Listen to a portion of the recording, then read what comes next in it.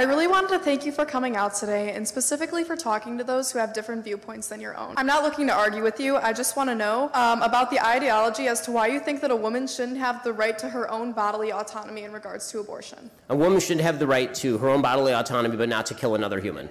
You know, but, but as far as the idea that I'm like sitting awake at night thinking, how do I control women's bodies? No, not, not really, not at all, actually. Uh, the, the, the thing that I do care about is the preservation of human lives. I don't have an argument that pro-choicers are ignoring a premise. That's, that's fine. You're allowed to ignore a premise or, or think a premise that I'm giving is wrong. Well, it turns out that the vast majority of women for literally all of human existence have engaged in childbearing and rearing, and it has not, in fact, ruined their lives. In fact, married women with children are, by poll data, the happiest women in America.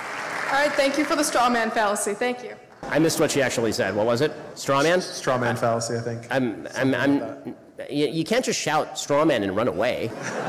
Do you want to come back and explain why it was a straw man or, or no? Okay, you're just going to run away.